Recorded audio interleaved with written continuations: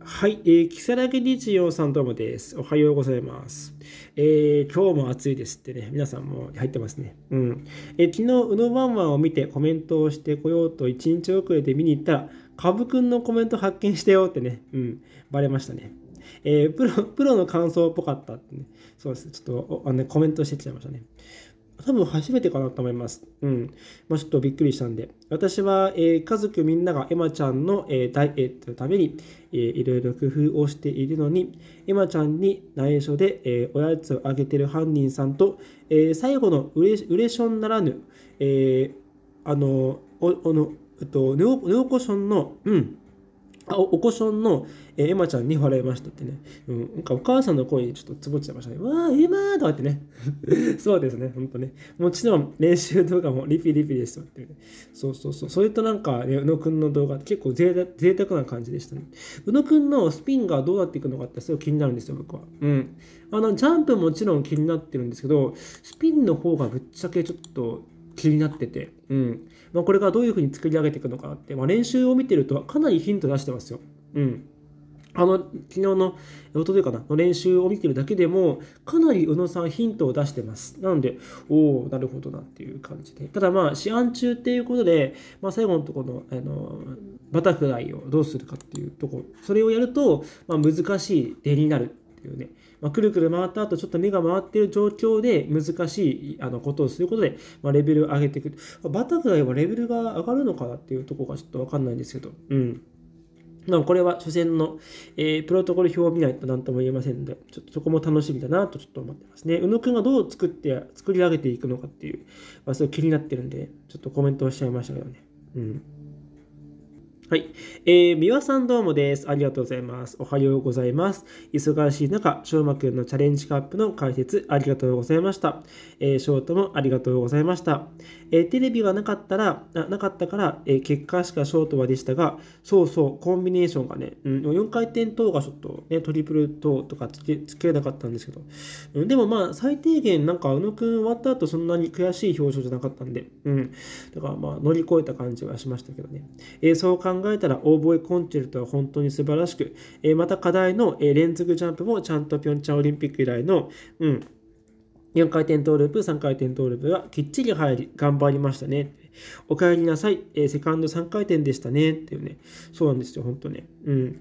えー、まあ、そこはちょっと4回転等の後にコンビネーションが作れるかっていうところが結構課題で、課題としては大きかった。で、コンビネーションで構えてしまうと、緊張が入っちゃうんで、できないんですよね。ファーストジャンプがミスする可能性があるんですよ。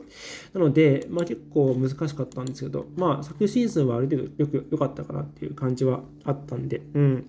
えー、昨年はあのとにかく練習から、えー、セカンドトリプル頑張っていましたね。え、逃げずに安全策に、えー、ならないように、あまりにファーストジャンプが、えー、斜めたら、斜めたら仕方がないけど、2回転つけますが、えー、今年も頑張ってっていうね。うん。やっぱ4、3、やっぱ4回転等、トリプル等に今年もなってくるかなと思うんですけどね。うん。まあ、4回転フリップ、トリプル等なんかもちょっと、まあ、気になって、ちゃったりはしてるんですけど、ね、どうするんだろうっていうね。まあ、ちょっと気になってありますね。えー、ショート、グラビティ、頑張れっていうね。うん。やはりこの大王も良かったですね。えー、前の選手、目の前のスピンも、えー、見入っていたでしょう。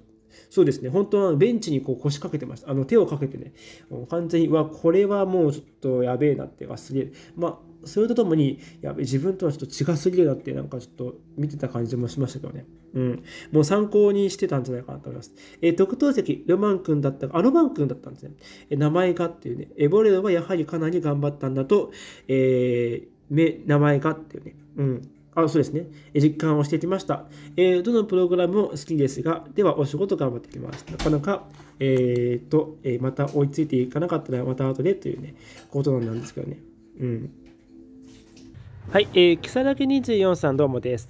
えー、ザ・アイスに一緒に行った連れがお手紙の返事が来たってっていうことみたいです。おお、すごいですね。これは宇野くんからっていうことかな。ポストカードみたいなものにサイン入りで、えー、連れは2人にお手紙を書いて、そのうちの1人から、私もプレゼントがボックスにお手紙入れたよって、連れに返事が来た人じゃない方にということみたいですね。うん。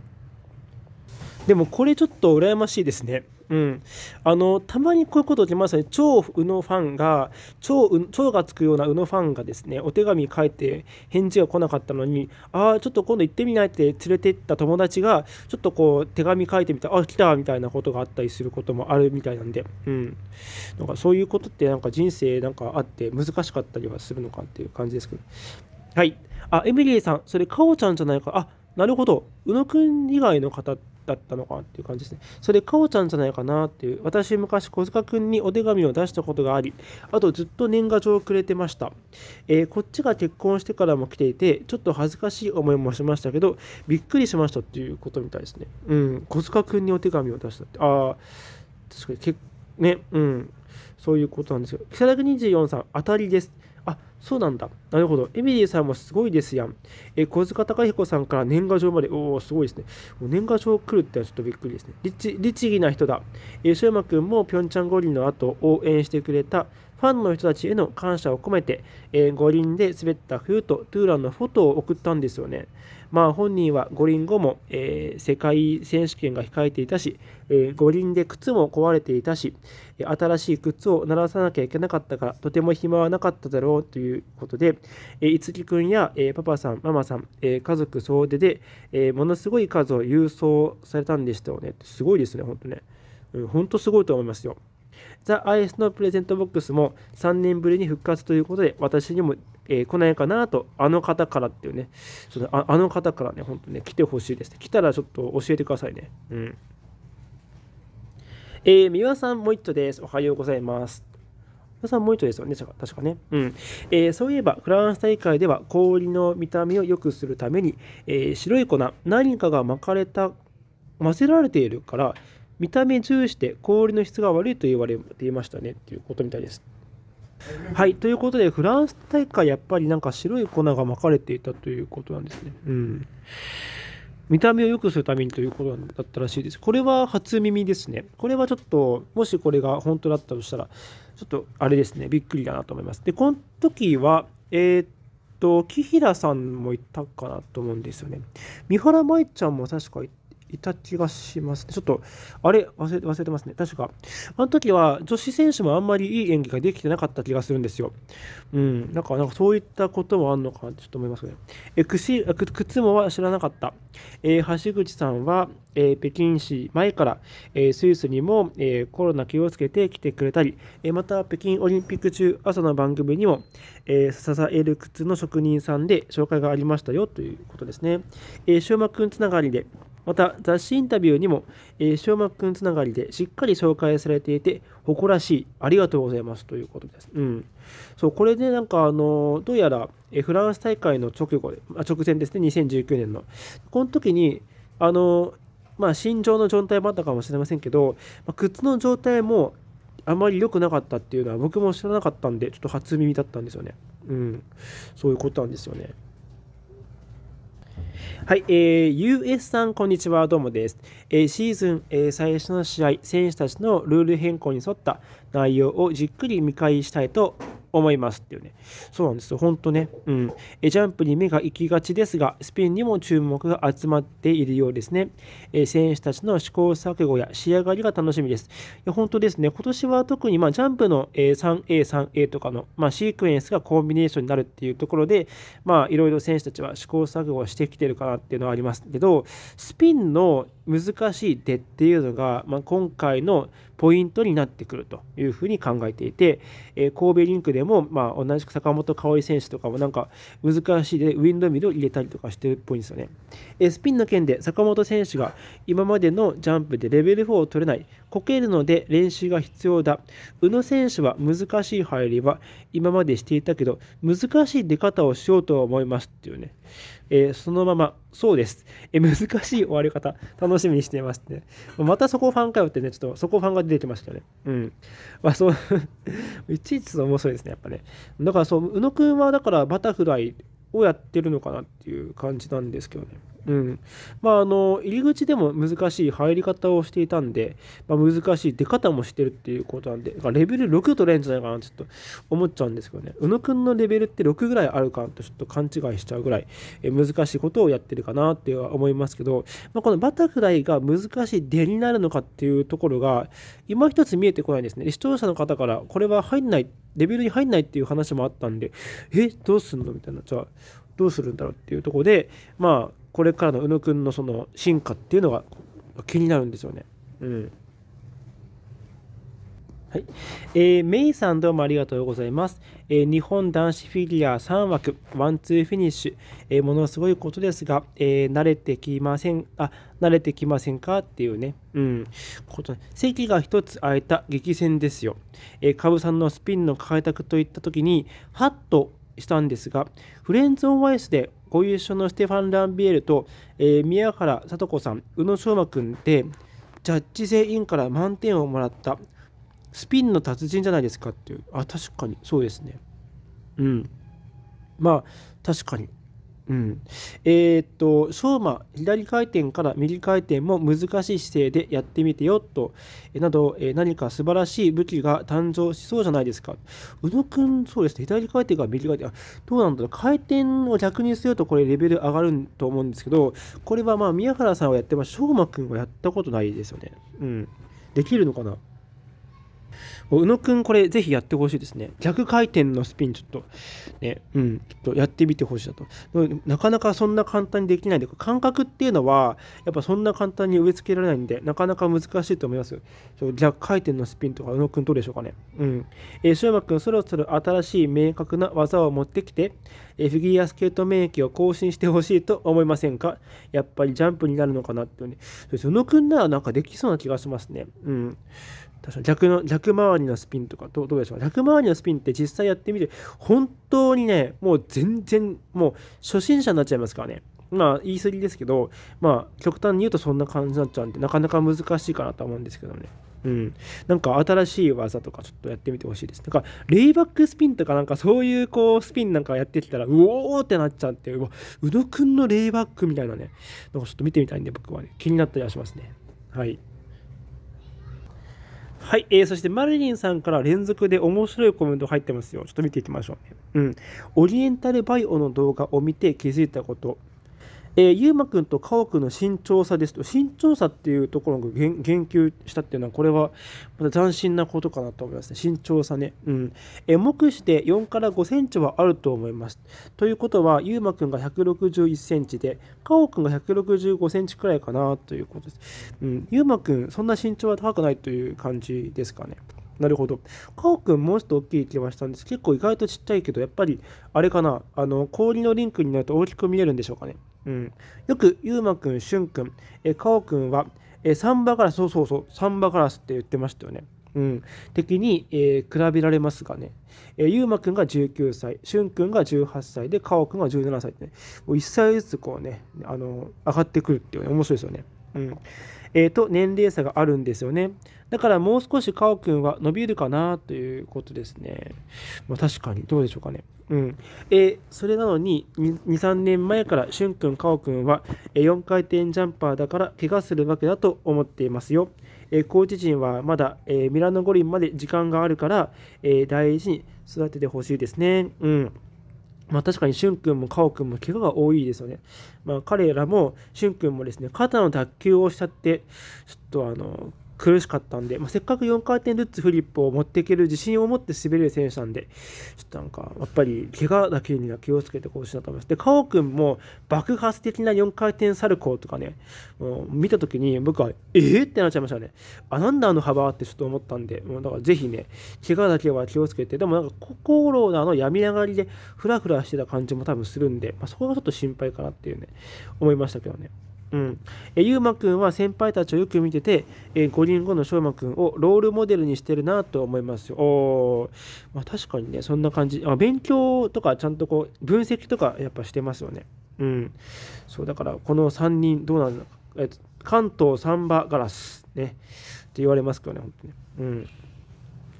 はい。で、え、っと、そんな感じで、えー、ゆうまくんは、あ、えっと、かおちゃんのグラビティを完コピーしたと笑い、今シーズンのことを聞かれて楽しむと一言。かおちゃんのグラビティを完コピーしたっていうことみたいです。なるこれは、しょうまくんのことかな。うん。え、ゆうまくん、かおくん、ともに意外とルックス気にしているんだなと思いました。おー。なるほどね。昔、カー君結構ニキビが多かったんで、それが結構気にしてたのかなっていう感じあるんですけどね。どどうなんだろうね。うん。え、まあ、あの頃やっぱりこう思春期とかもあって、ちょっとね、やっぱニキビとか多くなっちゃうとは思うんですけど、ま、気にしていたということですね。うん。まあ、フィギュアスケートは見せるスポーツだから大事です。まあ、女子女子の選手も必ずと言っていいほど、あの歯の矯正とかされてる人はやっぱ多いですよね。うん。あの、木平さんも昔歯の矯正をしていたと思います。宮川さんもしてましたよね。してない選手の方が少ないんじゃないかなっていう。男子はあんまり見ません。男子もしてるか。うん。女子は結構やっぱ選手してた選手が多かったと思いますよね。うん。えー、リオンちゃんは158から9センチくらいと思いますが、4回転トリプルアクセルを目指す、えー、女子だから、ゆうまくん、かおくんと一緒にいられるのはいいですね。確かにですね。うん。まあ、リオンちゃんね。なんか、あの身長とか手足は本当長く見える。で、特に手が長く見えますね。うん、であの町田さんは、まあ、ここがやっぱ手が長くて直線的な動きになっちゃうんでバレエのアームワークっていうのを手に入れると、なんか彼女は動きやすくなって自由になるって言ってましたからね。うん。なんか住吉さんは背がスラーっとしてますからね。で、彼女はやっぱ関東で、えっ、ー、と、まあ、あの、岡島先生ね、に、多分、明治神宮でやってると思うんですけどね。まあ、だから、まあ、樋口先生とか、樋口さんとかね、一緒にやってんじゃないかなっていう感じがします。で、彼女は憧れの選手が、あの、なんだっけな、誰だっけな、えっと、うん。永井優香さんのことを憧れの人って言ってましたからね。あなるほどなと思ってちょっとね思いましたけどもね。うん。まあぜひね、あの昔あの明治神宮で、えー、いたあの女子選手でなんか名前ちょっと忘れてしまったんですけど、まあ、引退間際に、あのー、えっと、坂の上の雲で滑った女の子がいて、彼女うまかったんですよね。だけど途中でやめちゃ、やめちゃ、やめてしまって、うん、早かったなと思ったんですけど、明治神宮の子たちも結構もうちょっとね、長く活躍できてほしいなってちょっと思ってるんで、うん。はい、まあ、樋口若葉さんがね、やっぱすごいオリンピック行ったんで、それで元気を取り戻してくれればいいなっていう、まあ、住吉さんもつないでいってほしいなと思うんですよね。うん。あの時は名前は誰だか忘れましたね。誰だったっけなちょっと思い出せないな。川端さん、あ、そう、川端さんもね、ちょっと最近どうしちゃったんだろうっていう感じですね、ほんと川端さん復活できないのかなって。で、川端さんのちょっと前に、もう一人いたんですよね。名前がちょっと思い出せないな。うん。あの、レジェンド・オブ・フォールとか滑ってた人。うん。滑りが綺麗で、ジャンプもよく決まったんですけどね、ちょっと回転が足りなかったりして、点が出なかったりするんですよ。その選手も、あの、明治神宮だったんで、うん。まあ、ゆうまくん。かおくんも、明治神宮でやってるのかなってちょっと思いますけどね。ど、どこでやってるのかな。うん。はい。まあ、そんな感じでございます。えー、そしてマリリンさんもう一度です。えー、こちらも面白い議論だと思うんですが、4回転と3回転は別物ジャンプなのかっていうね、ことなんですね。えー、羽生さんがまだ4回転トーループだけショートプログラムに入れている頃は、え最後のコンビネーションジャンプの3回転3回転が失敗することが多かったということですね。うん。これだから、あの、パリさんとかでしょうね。パリの散歩道とか、えー、ツィゴネルワイゼンの時とかでしょ。あ、ツィゴネルワイゼンフリーか。うん。えっと、だからショート、パリさんですよね。パリの散歩道とか、レジェンド、ホワイトレジェンドの時もだったかな。うん。えー、ピョンチャンオリンピックの前、えー、怪我から復帰して、えー、練習を始めたが、えー、シングルアクセルから、えー、ダブルアクセルと練習をしたが、なかなかダブルアクセルができない。えー、それでダブルアクセルやめてトリプルアクセルやったらできたっていうね、すごいですね。これ、ほんとなんか、やばいですよね。うん。だからジャンプの回転が速い、あの回転数が多い方がやりやすいっていうね。これはね、荒川静香さんも話してましたね。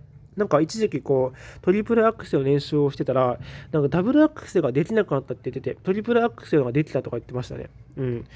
すごいなと思います。なんかそういった武勇伝もフィギュアスケートあるあるで語られますよね。えー、シューマ君は2回目に、え、スイスに行った次の日の練習で新しいジャンプのコーチを紹介されました。新しいコーチから昨日スイスに来たばかりだから、え、3回転ジャンプでいいよと言われたシューマ君。いやいや、それはできないって言っていました。おー、そうなんだ。なるほどね。やっぱ、あんな4回転バンバン飛んでるから、なんか3回転ぐらいできちゃうんじゃないかなちょっと思っちゃいますけど、そういう感じではないんですよね。うん、これは目から鱗です、やっぱ。えつまり、4回転ばかりやっていると、入る軌道とか、エッジスピードだとか、えもちろん踏切のタイミングも違うから、3回転をミスしたり、飛べなくなっちゃうんでしょうっていうね。まあ、確かにそうなのかって思いますね。うん。なんとなくイメージはつきます。リオンちゃんは今はそんな時だと思うんです。おー、なるほど。すごいですね。リオンちゃん確かに今4回転とサルコー、ループもやってるっぽいですからね。すごいですよね。うん。キキラリカちゃんも3回転アクセルを飛べて、えー、2年くらい前は3回転をコンプリートできなかったですね。あー、確かに。確かにあ。ありましたね、一時的にね。うん。15歳になってトリプルアクセルと他のジャンプがコンプリートできた。うん。リボンちゃんもそんな時だからやっぱりコーチの力量を期待してしまいます。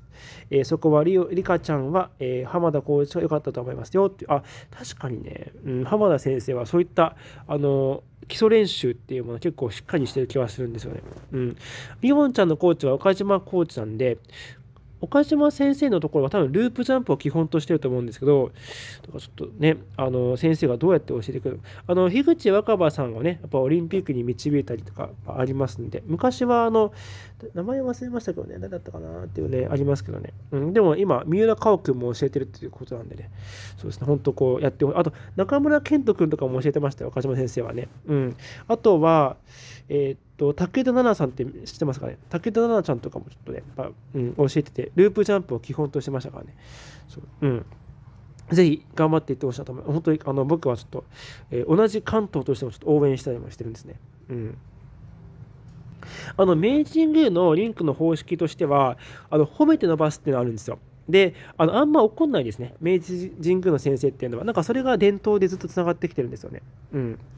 えー、マリニンさんもう一度です、えー、アイススケートリンクとホッケースケートリンクは幅が違うっていうね。これは結構有名な話だと思うんですけど、えー、海外ではフィギュアスケートの試合でアイスホッケーリンクを使用することもありますよね。うん。問題は幅が狭くなることです。その通りですよね、やっぱね。うん。えー、プログラムを微調整しないと対応できないんで、特に、えー、ジャンプの軌道など、あのー、確か、えー、真央さんのバンクーバーオリンピックは、アイスホッケーのリンクであった時の、ああ、なるほど。ってことは、真央ちゃんのトリプルアクセルの軌道難しいですね。うん。キミオナさんの、えー、ルッツとは逆にうまくいきやすいのかな、だとすると。うん、あ、フリップとか、ルッツとか。うん。えー、その対策でグランプリシリーズでカナダ大会に出たような記録がということ。おこれは初めてですね。うん。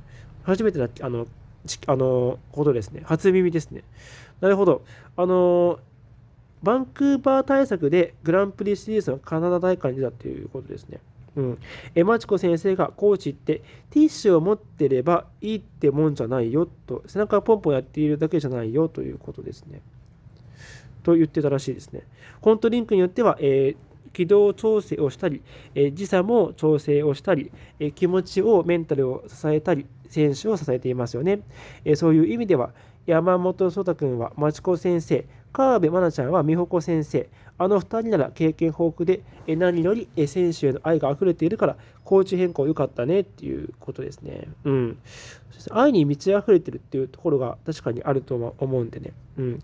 あのえっと、ま、マリンちゃんも多分、美穂子先生の合ってるかなどどうなんだろうでも、どうなんだろうね。マリンちゃん、あの、今、誰の、え佐藤信夫先生かなと思うんですけど、多分まだ、うん。あと、本田、本田武さんとかですけどね。うん。まあ、先生選びやっぱ大事かなとは思いますけど、え浜田美恵先生は多分もう圧倒的厳しい感じはあるかなと思うんですけど、彼女も、あの先生も結構愛はありすのはあるとは思うんですけどもね。うん。でもなんか日本のエテリな感じはちょっとしてるんで、なんかあれですけどもね。はい。まあそんな感じでございます。うん。はい、えー、というわけで、えっと、皆さんありがとうございます。宇野昌磨君を中心の、えー、動画でございましたけど、結構ね、勉強になったので、うん、面白かったですね、今日もね。はい。えー、それではこれで終わりにしていきたいと思います。で、この後の予定なんですけど、まあ、いろいろお出かけはするんですけど、えー、先ほどね、えー、羽生くんの、あの、えー、2015年の生命をやってほしいという、あの、プロトコル分析してほしいといただきましたんで、まあ、こちらをちょっと、えー、分析をね、あの、してみたいなと思いますね。はい。えー、それでは、ありがとうございます。これで以上になります。